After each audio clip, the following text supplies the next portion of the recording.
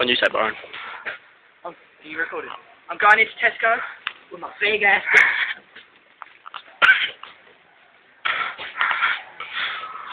Good upstairs, Harry.